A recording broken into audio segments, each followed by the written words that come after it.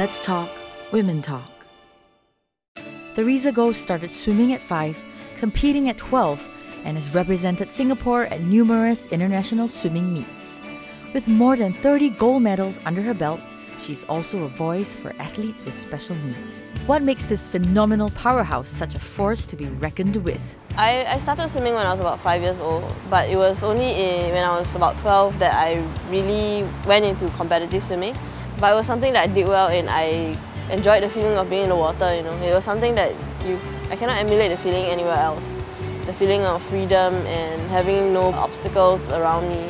That's something that I really enjoyed. Now, I know you went through a tough time at the Beijing 2008 Olympics. Like you said, you were hoping to place. How did that change you as an athlete and as a person? It's because I felt like I was a failure at the time. I had given 110% and I got nothing out of it. And it was something that I, I really struggled with. And it was mm, only after a couple of years of truly understanding myself and I realized that life still goes on. I was still living, but why am I why am I stopping now, you know? It's that feeling of knowing that it's okay to fail also. Because everybody fails, right? Yes. Nobody wins all the time. So Theresa, what is empowerment to you? Empowerment to me is taking every opportunity that I'm given and to make the best out of it. I feel like a lot of people place too much emphasis on the result and the outcome rather than the journey of it.